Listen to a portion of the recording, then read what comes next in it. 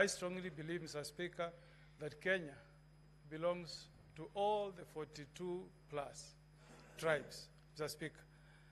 And what has disturbed me, Mr. Speaker, for the two days I've sat here, Mr. Speaker, what would happen to my community in Kisii and in Nyamira if we ran our government through this theory of shareholding? Mr. Speaker, as I speak tonight, Mr. Speaker, the people of the two counties of Omogusii, Nyamira, and Kisii are victims of that theory of shareholding. That community, Mr. Speaker, called Omogusii, has got no even a single PS serving in government, Mr. Speaker. Mr. Speaker, as we, we speak this evening, Mr. Speaker, the Omogusii people, Mr. Speaker, have been the biggest victims of this theory of shareholding.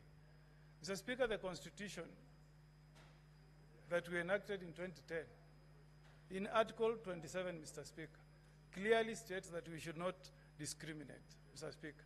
I hope, Mr. Speaker, when I cast my vote tonight, I'll be sending a message from the people of Nyamira, Mr. Speaker, that a government is formed for all the tribes in the Republic of Kenya, Mr. Speaker.